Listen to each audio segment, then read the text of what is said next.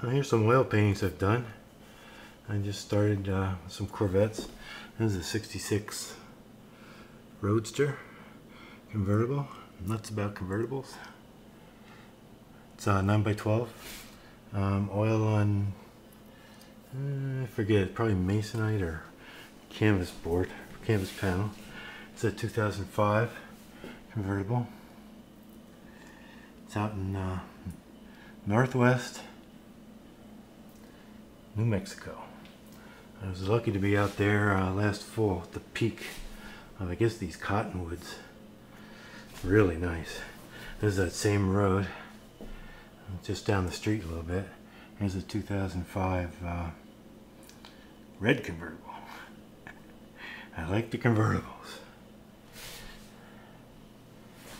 There we go. Here's a 66 coupe. I think it's a 66.